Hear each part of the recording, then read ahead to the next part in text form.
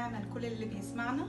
آه، مشغولة أقرأ معاكم مزمور 126 من عدد 6 الذاهب ذهابا بالبكاء حاملا مبزر الزرع مجيئا يجيء بالترنم حاملا حزمه. آه، دايما وقت الزرع بيبقى وقت صعب بيبقى وقت ما فيهوش نتائج بيبقى وقت فيه مجهود بيبقى وقت آه، فيه ضغط زي الوقت اللي إحنا عايشين فيه دلوقتي.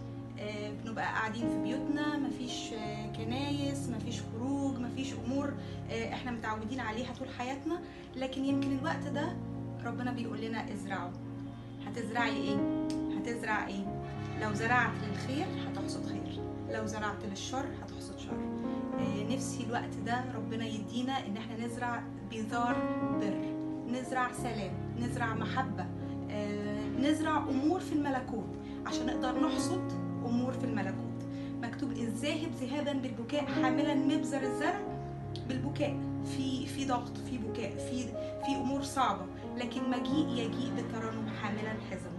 هيبقى في ترنم. مكتوب كده يفرحون أمامك كالفرح في الحصاد. يعني في وقت الحصاد وقت ما تشوف الثمر بتاعك وقت ما تشوف الأمور اللي الله بيصنعها في حياتك بسبب الزرع اللي زرعته قبل كده هيبقى في فرح. والفرح ده مش هيبقى فرح عادي لكن فرح لا ينطق به ومجيد ليه كل المجد في حياتنا.